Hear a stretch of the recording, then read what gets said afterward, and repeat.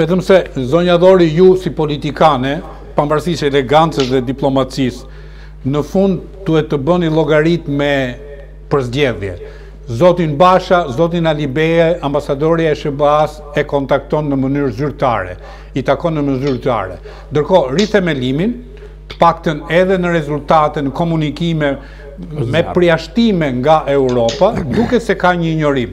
Kështu që duhet një kurajo dhe vendosje, kur them ju, jo ju personalisht, po të gjithë ju që deri tani nuk jeni miksuar me grupet? Uh, unë mendoj që zgjedhja ime deri në fund do jetë vetëm përgjegjësia ndaj qytetarëve, përgjegjësia politike këtu. Do ta them me zë të lartë mendimin tim dhe do mbaj edhe qëndrime të hapura. Por që të bëhem pjesë e një pale, nuk po flas për proporcione, por që të luftoj dhe të sulmoj palën tjetër, këtë nuk e kam dashur, nuk e pëlqej te kolegët që e bëjnë dhe nuk do ta bëj asnjëherë, qoftë kjo edhe me kosto personale për mua, sepse e rëndësishme është që unë të jem e vërtetë në atë që i ofroj qytetarëve, por të jem edhe e vërtetë me veten time që ta besoj realisht atë atë gjë që bëj. Mirë, ju zoti Prifti si e gjykoni? Edhe, domethënë, qasjen e zonjës, që është, domethënë, janë paktën shumica e grupit parlamentar, edhe të atyre që janë futur me rithemelimin, dhe atyre që janë jashtë rithemelimit. Unë, Duan bashkim. Unë e justifikoj atë mendimin që ka ajo për, të, për problemin e përçarjes.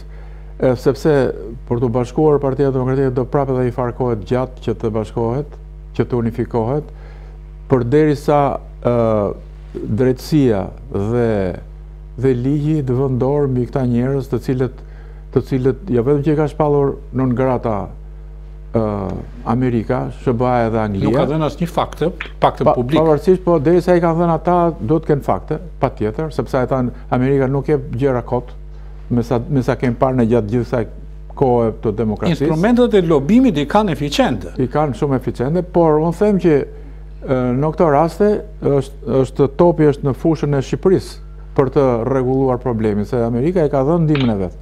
Po. Tani i takon drejtësisë që të zgjidhet, sepse nga ana, nga ana morale dhe nga ana e opinionit, Berisha dhe Ilir Meta janë njerëz të dënuar nga opinioni. Nga opinioni po dënohet edhe zoti Rama, Sigurisht. Sepse korrupsioni është galopant, ka ish ministra dhe deputetë pas hekurave. Kurse këta persona që po themi janë të dënuar edhe juridikisht nga ana e ligjeve amerikane dhe angleze. Meta nuk di të ketë dënim. Meta jo, po Berisha për... Po. Kështu që në këto raste, njerëzit duhet të jenë pak më të guximshëm që të që të shmangin. Ndëshkimi që i ka bërë Departamenti i Shtetit është moral.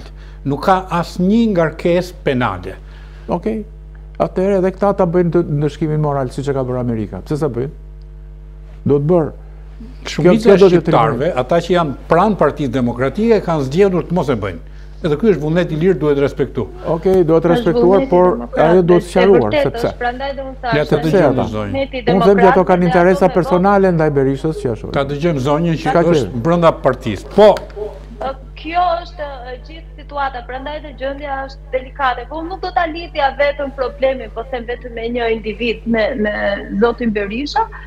Uh, unë do ta shikja situatën në tërësi, komplet, në kompleksitetin e saj.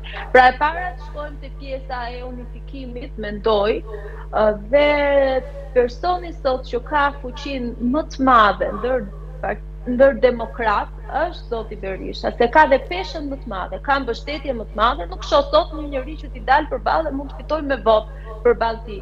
Uh, Prandaj dhe them, nuk di sot të them kush është zgjidhja, por është personi që ka në dorë shumë për të bashkuar Partinë Demokratike.